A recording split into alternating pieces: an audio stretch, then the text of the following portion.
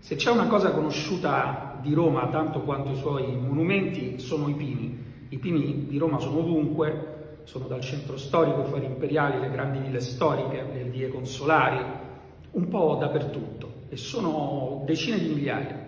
Anzi, si calcola che nella provincia probabilmente arrivino a un milione. Ora, il rischio concretissimo è che il 90% di questi pini possa morire. Due anni fa sono stati infettati da un parassita o meglio, un parassita li sta infettando e ha il 90% di letalità.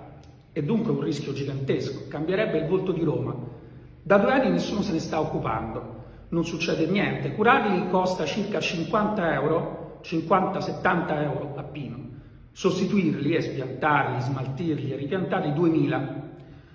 Ora il Ministero per le politiche agricole e il Comune di Roma devono immediatamente stanziare una cifra adeguata eh, non solo per il rischio che davvero Roma si possa un giorno svegliare senza più i suoi pini, ma per il fatto che economicamente sarebbe disastroso doverli sostituire.